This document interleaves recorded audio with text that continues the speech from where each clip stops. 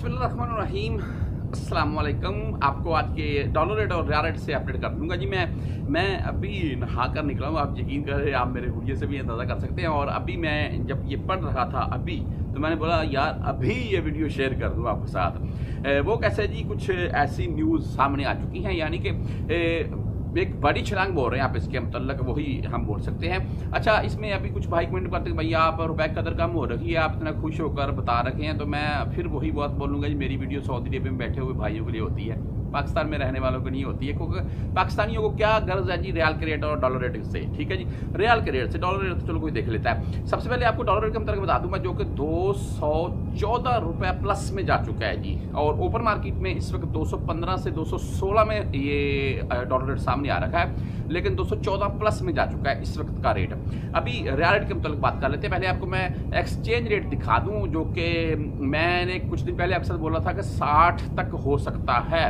या 60 बोलने को दिल करता है जी सिंपल बात बात करें तो।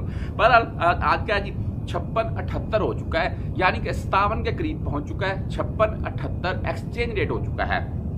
अभी बैंकों के हिसाब से सुन लें। सबसे पहले बात करेंगे राज्य बैंक की, यानी कि तहवील राज्य की। इनका रेट आज का पचपन रुपए ग्यारह पैसे है जी। आज का पचपन रुपए ग्यारह पैसे और दस रियाल सत्रह रियाल एंड तेईस रियाल फ़ीस के साथ है। इंजाज बैंक पचपन रुपए सत्रह पैसे दस, सत्रह एंड तेईस रियल फ़ीस के साथ है। एस टी सी पे पचपन रुपए इकतालीस पैसे। अच्छा इंजाज और राजीव बैंक के रेट थोड़े कम होते हैं, दूसरों की नस्बत आपको जो मेरी वीडियो देखते हैं, आपको पता भी होगा। अभी STC पे पचपन अड़तालीस दे रहा है, सत्रह रियाल फ़ीस के साथ है। फौरी बैंक बैंक अल जजीरा, ये इस वक्त पचपन रुपए चौबीस पैसे रेट दे रखे हैं, दस रियाल फ़ीस के साथ है।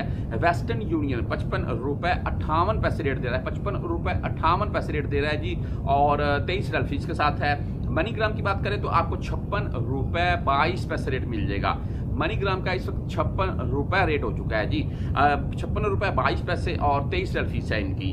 टेली मनी यानी कि ए एन बी बैंक के मतलब बात करें तो पचपन रुपए इकतीस पैसे रेट इनका है जी और पंद्रह इनकी फ़ीस है।